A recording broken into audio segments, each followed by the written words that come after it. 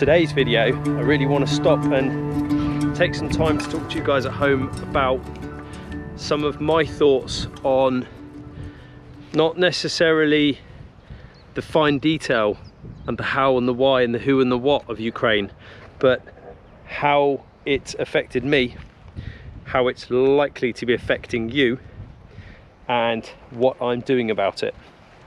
It's everywhere you go, it's every channel you turn it onto because it is it's affecting the whole world you know? It is a massive massive thing that's happening right now.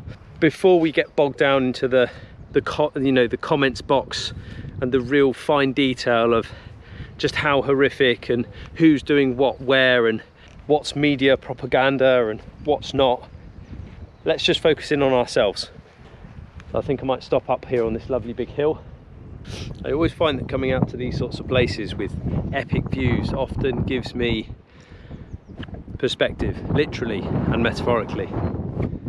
Your eye never quite falls on any one place and it just allows your mind, it goes hand in hand with your mind to wander from thought to thought. So, obviously for the last couple of weeks, everything you see and hear has been about pretty much one narrative and it's all been about Russia invading Ukraine. It's had huge knock-on effects, obviously politically, economically, in every which way uh, you can think of, and we're yet to feel the effects of the lack of wheat that's going to hit the markets in autumn, uh, sunflower oil, all of those things that the Ukraine, being the breadbasket of Europe, produces, which quite frankly probably isn't going to happen this year. There's more kind of direct impact for us as a result of that. But what I'm going to talk to you today is the cost of you lapping up the media at the rate in which we are. And it's not your fault. Remember, your brain is hardwired to seek out and try to absorb any knowledge which you feel may be pertinent to your survival. Think about a time where, before the world of instant water and hot and taps, we would have to go down to the river to collect water. It's a well-known story. I may find a crocodile down by the river. I will then come back and tell everyone in my family immediately, this is important information I must hold in my head. There's danger down by the river, don't go down there. Somebody will run to the next family unit and the next family unit and from tribe to tribe, this knowledge, this information, this sometimes gossip, will spread like wildfire, especially in small communities. We still see it today, except for now, we have the world's media. And the world's media will offer anything you want to see or learn about or know about on a plate. YouTube is a fantastic platform to learn from. It is also a fantastic platform to continue to feed yourself perhaps the things aren't necessarily quite so good for you. So we have a habit and this very old primal part of our brain in the amygdala, okay, the emotional control sensor, wants to prioritize the things we feel are pertinent to us as somebody who has personally endured enough trauma for a lifetime for myself, thank you, do I need to wake up in the morning and the very first thing I do is roll out of bed, turn on my phone, straight into the blue light and give myself a big dose of caution. Click here to see this image because it's been censored, because there's something in here which is violent or disturbing. What's the first thing my brain wants to do? Click boom, straight away I'm seeing a hospital that's been bombed. I'm seeing broken, shattered bodies of children and people caught up in the, in the fighting. And then I'm seeing the narrative underneath, the how and the why, which may or may not be always absolutely spot on. But that doesn't matter. You've clicked on it, this is not an attack on journalism because journalism brings us the news. We wouldn't know about a lot of things around the world if it wasn't for that.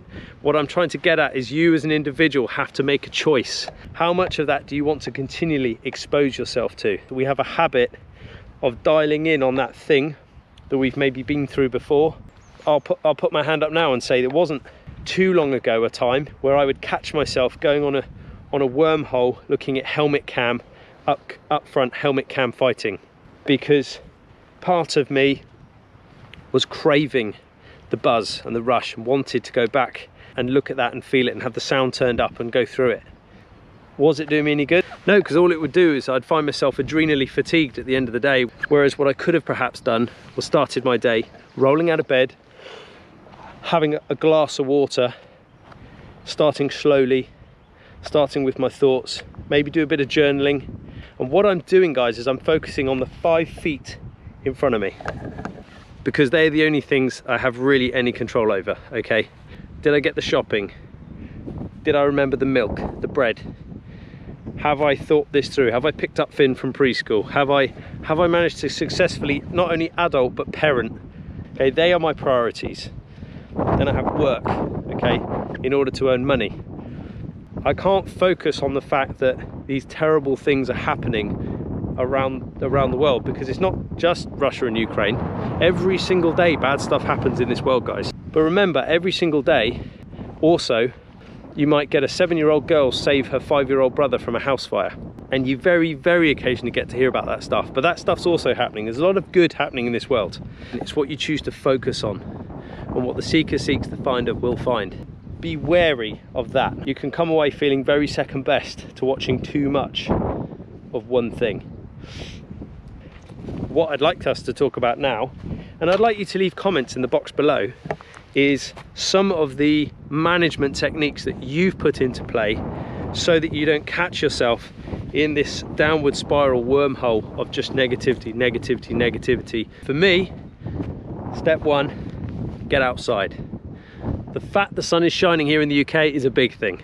Step two, get somewhere that lends perspective. It's physical, it's metaphorical. I could just sit there and just look at this skyline and totally zone out for five, ten minutes and just let my brain go wherever it wants to go. I mentioned journaling. Well, why journal? Journaling's important because when you've got a lovely little notepad that's just for you and it's you and your thoughts, it's kind of like a diary in some ways in that it's a regular entry that you're going to put in there. I tend to generally just use it as like a for, for making lists for things I need to achieve the next day and then maybe put notes on there as to how I'm going to do it but you could equally put down on there how you're feeling and make a note of it. You may even notice over a series of months you start to see a pattern. It definitely does help to get that on paper out of your head so it's held there and not, your brain's not constantly trying to hold all this information. And then the next morning you wake up, just check your journal. Ah, right, I need to do this, this and this. Okay, cool. Those are my aims for the day. Allow yourself to feel the emotions you're going through. If you're feeling awful, you have to kind of weather the storm in the same way that I would put my hood up, do that British stiff upper lip thing and get on with it. I would have a, a, a plan of action to, to overcome feeling particularly sensitive to, to whatever's going on around me that day.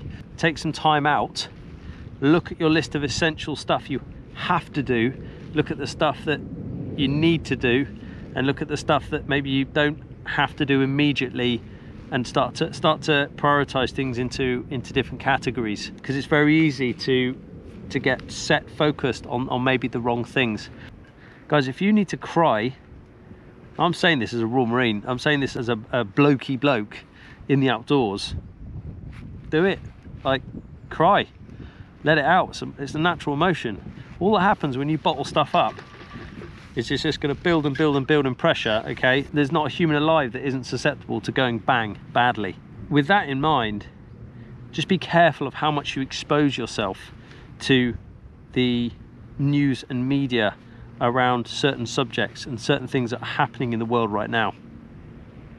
One of the things I like to do, I quite like to carve. Green woodworking for me is a is a fantastic thing. Just the act of having a small penknife in your pocket, maybe making a spoon or a bowl or something, but just totally lost in the pursuit of one single act, a small fiddly task, whether it's knitting, whether it's whatever it is you're into, okay, so a hobby, something you, you love to do. And because you've got the muscle memory there, you just switch off and you just get lost into this little meditative state where again your brain can just ping pong around any ideas that are in your head and start to put things away into, into a place where you can start to make sense of things. For me, if I have to have the phone on or, or the laptop or have some kind of background noise going on, I quite like to listen to TED Talks. You know, there's really positive 18 minute chats from some neuro expert telling you about how your brain works, for instance because I do find them empowering. I'm not necessarily looking at the screen. I've got the, the laptop turned around and it's on the worktop there and I'm, I'm in the kitchen carving something. I'm doing things on my terms.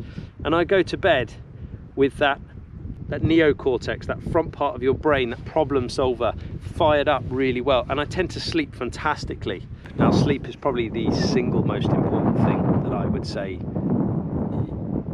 when I'm struggling, makes the biggest difference to me getting back into the game. For me, to do that, I need to have a good sleep hygiene routine.